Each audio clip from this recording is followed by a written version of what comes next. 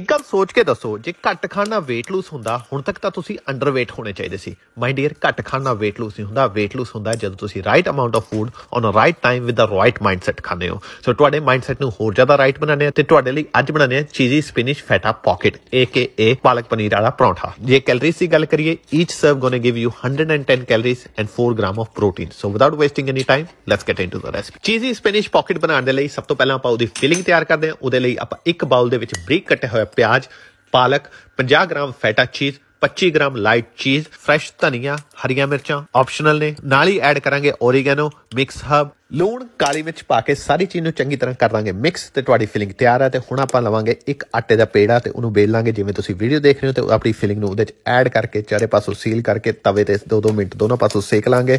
ਤੁਹਾਡੀ ਚੀਜ਼ੀ spinach pocket ਤਿਆਰ ਨੇ। ਆਪਣੇ ਆਪ ਨੂੰ ਸਰਵ ਕਰੋ। ਗਰਮਾ ਗਰਮ ਨਾਲ ਅੰਬ ਦਾ ਅਚਾਰ ਤੇ ਹਰੀਆਂ ਮਿਰਚਾਂ ਤੇ ਕੀ ਬਾਤ ਹੈ।